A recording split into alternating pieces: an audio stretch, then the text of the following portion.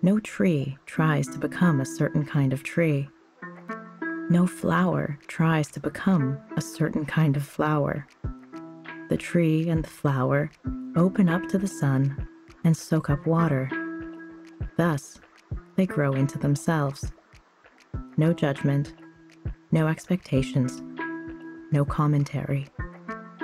Your task is the same. If you can stop trying so hard to become who you think you should be, and instead commit to understanding and nourishing yourself, you will bloom into whatever kind of person you are.